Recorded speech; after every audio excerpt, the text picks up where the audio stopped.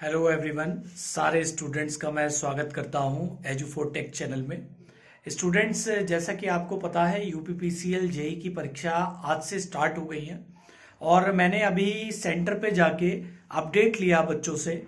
तो मुझे अभी इतना नहीं पता चला कि कितने क्वेश्चंस आए हैं, लेकिन ये पता चला बच्चों से जो राइट अपडेट मिला है।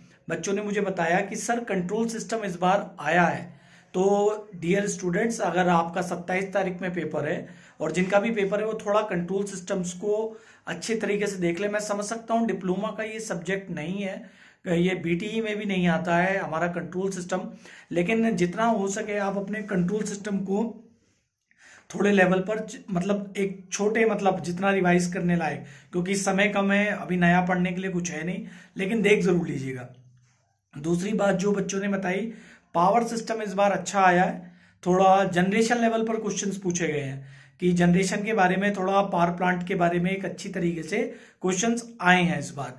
तो आप पावर सिस्टम को जब भी पढ़ें, अच्छे से पढ़ना, अच्छे से रिवाइज कर लीजिएगा पावर सिस्टम को। और दूसरी सबसे बड़ी बात जो बच्चों ने बताई कि इस बार ऐसा नहीं हो किसी एक सब्जेक्ट से पेपर दिया गया है। बच्चों बताया सारे के सारे सब्जेक्ट्स को टच किया गया है।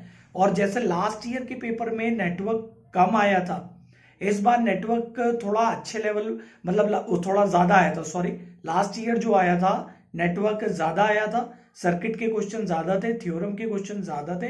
इस बार नेटवर्क के क्वेश्चंस और थ्योरम वाले क्वेश्चंस कम थे, ठीक है? ना मतलब थोड़ा कम ही पार्ट पूछा था उसने. और आपका इलेक्ट्रॉनिक्स का पार्ट्स आया था, उसमें भी डिजिटल इलेक्ट्रॉनिक्स को ज़्यादा से ज़्यादा पूछा है उन्होंने. और उसके अंदर डिजिटल में जो गेट्स के क्वेश्चन है वो भी उसमें पूछे गए हैं। पावर इलेक्ट्रॉनिक्स से बच्चों ने बताया तीन, दो तीन क्वेश्चन थे। और डीसी मशीन के क्वेश्चन बताया सिंक्रोनस मोटर का क्वेश्चन बताया बच्चों ने कि इसे सब्जेक्ट्स को छुआ है। मेज़रमेंट कम आया है और आपका एसी फंडामेंटल्स भी कम आया है। ठीक है? तो आपसे थोड़ा सा रिक्वेस्ट ये है, मैं थोड़ा समराइज कर देता हूँ आप सभी के लिए। आप सबको क्या करना है, अपना कंट्रोल सिस्टम ज़रूर देख लेना और पावर सिस्टम को अच्छे से पढ़ के जाना है। और मशीन्स तो आपका कोर सब्जेक्ट है ही, वो पढ़ लीजिएगा।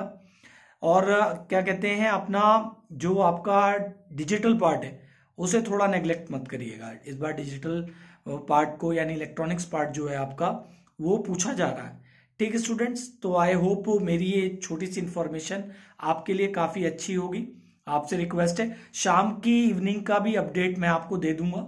अपने जैसे स्टूडेंट्स मेरे एक दो स्टूडेंट्स हैं, उनका पेपर है। जैसे साढ़े पाँच बजे पेपर छूटेगा तो मैं आपको अपडेट दूँगा।